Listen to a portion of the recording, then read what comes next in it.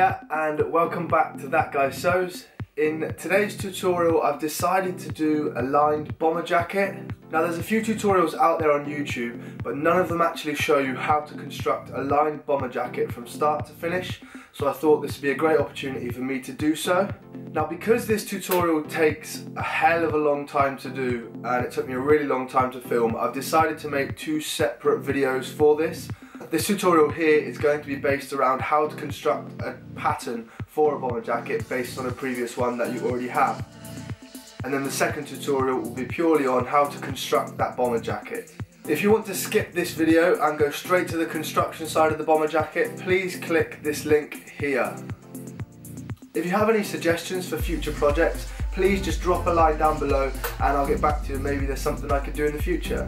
If you haven't already guys, please like this video and don't forget to subscribe down below.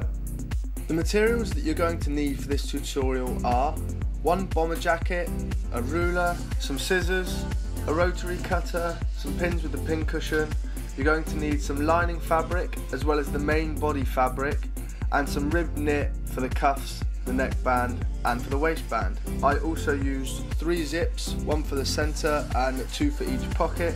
I needed a cutting board, some pattern paper and a pen and some chalk. To start this tutorial off, I turned the bomber jacket inside out and tucked the sleeves inside of the garment.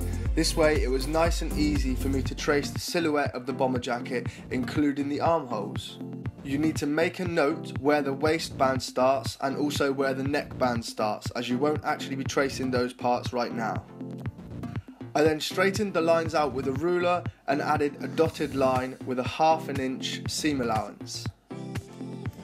And proceeded to do this across half of the garment itself so that when I folded this over I could then cut it out and have a completely symmetrical back pattern. Once you've created your back pattern piece, you're going to use this as a framework to create the front. That way, you're ensuring that it will match up at all the seams. However, you're only going to trace half of that back pattern as there's going to be a zip down the centre front seam. Once you get to the centre front seam, you're just going to add half an inch for the seam allowance because there will be a zip inserted. It's really important that you know exactly how long your zip is or the zip that you're going to use is because that's how long the front of your garment is going to be. So my zip was 18 inches, so I needed to ensure that my garment from the neckline down to the bottom where the bottom of the zip would be is 22 inches. And remember, half an inch at the top and the bottom will be within the seam allowance. So you need to make sure you take that out when you're looking at how long the zip's going to be in comparison to the garment. The next thing I looked at was my pocket placement. So grabbing one of my six inch zips and placing it on the front pattern piece to try and work out exactly where I would like the pocket placement to be. Once I had worked that out, I just made two marks at each end of the pocket then just adding little triangles at each end of the line, which I'm going to cut into later and I'll explain when I'm constructing the pocket. And as you can see, the front and back pattern pieces do match up. The next thing I needed to do was construct the sleeve, so I started off by measuring the distance around the armhole of the sleeve pattern that I've just created which was 10 inches. So for front and back, that would be 20 inches minus the four half inches for the seam allowance. So overall, that would be roughly 18 inches. Therefore, I know that my sleeve is going to have to be around about 18 inches round. I then measured the distance from the top of the shoulder down to where the sleeve meets the cuff and the underarm seam down again to the bottom where the sleeve meets the cuff. Lastly, I just measured the width at the bottom of the sleeve where it connects with the cuff. By taking these measurements, I can now draw out the rough shape of the sleeve. I then just freehand draft the sleeve head and measured it to be certain that it is around about the same distance that I'm going to need to fit inside the armhole. Now what I've done is measured the entire circumference around the bottom of the jacket so I can work out how big this waistband needs to be. So you measure out the front pattern piece, times that by 2 and add that to what the back pattern piece is. Because there's going to be 3 seams constructed within this, we need to make sure we take out 3 inches from this overall number now and that's going to be the rough circumference of what your jacket would be. But for the waistband, because it's made out of a rib knit, what I've decided to do is minus another two and a half to three inches off of this and then use that for your waistband pattern. My waistband pattern might look a bit small here, but it's because I'm going to be cutting it on the fold, so it's going to be twice the width as you can see. I've done the same technique for the cuff where I measured around the circumference of the bottom of the sleeve pattern, minus around an inch and a half, and that is then going to be your cuff measurement. In order to determine how big my pocket can be, I need to work out the distance that I have from the zipper down to where my zip is going to end. I then know the distance that I have to play with in order to construct my pocket. So to construct the pocket lining, I've added half an inch each side of where my zipper would end and then constructed a nice even square in which I'm going to be drawing out my pocket. And again, I just freehand drew half of the pocket, cut that out, and then folded it over on itself to ensure that I had a symmetrical pocket.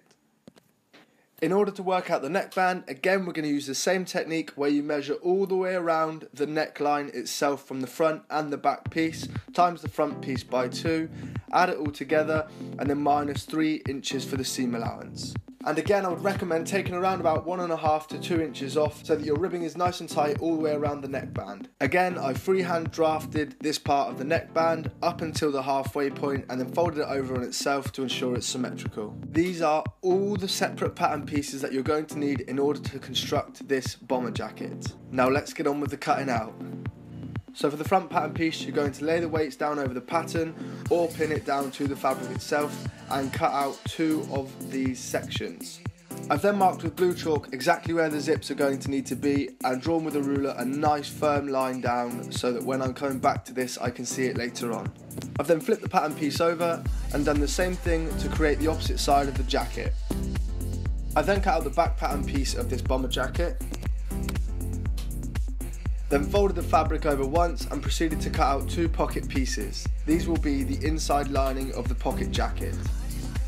Because I constructed half sleeve patterns, I folded the fabric over and just cut out two separate sleeve pieces.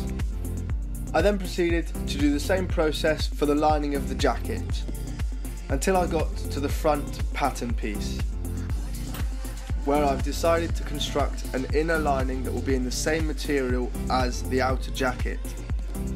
I did this by tracing out the centre seam of the jacket right up into the shoulder and then came inside from the outer lining around about two and a half inches from the pattern and then just drafted out a curved line down into the bottom of the jacket and made around a quarter of an inch seam allowance up the inside seam so that this way when I attach this piece to the lining the two quarter of an inch seam allowances will cancel out themselves. I then cut out two of the front facing pieces on opposite sides of the fabric and then I cut out two front pattern pieces before cutting out the facing area. Now the seam allowance that I made within the facing needs to be folded over so I have to chop into the curves and then fold over that seam allowance so that then when I cut out the lining it will have the opposite seam allowance. Now into the final steps of this part of the video is that I cut out some interfacing for the front facing of the jacket and also some small sections of interfacing to keep the pocket nice and stable. I've just then ironed these onto the wrong sides of the garment. The final process in this is to cut out the waistband, the neckband and the cuffs within a rib knitting. Remembering to cut the waistband and the neckband both on the fold. Thanks so much for watching the first video. Now if you want to see how I got from there to this bomber jacket, please click to the next video.